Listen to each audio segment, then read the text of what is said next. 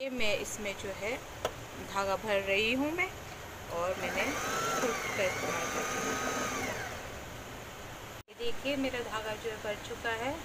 मैं ज़्यादा फुल नहीं करूँगी और इस तरह से मैं ये निकाल दूँगी और इस तरह से कटिंग का मेरे पास पीछे टूल्स रहता है। यहाँ बैक साइड में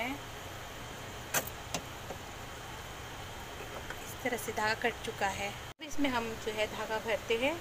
तो हमारी जो नीडल ये अप डाउन ना हो, इसके लिए हमने जो इसमें जो साइड वाला होता है, इसे हम जो बाहर की ओर करते हैं, बाहर की ओर अगेन अब हमारी जो स्विच चलेगी तो इसके लिए जो मैं इसे प्रेस आउट कर दूँगी।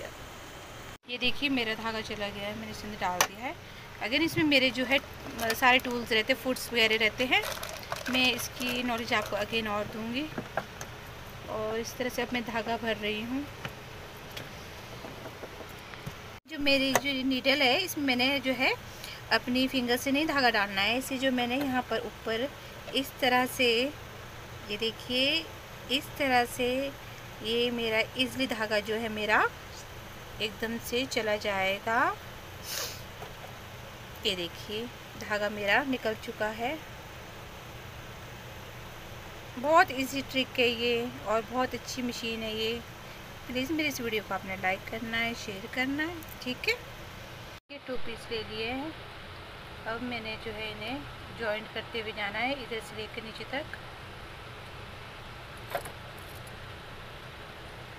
धागा मैंने ब्लू डाल के ही किया हुआ है। चाहे आप ग्रीन भी लगा सकते हो, कुछ भी कर सकते हो।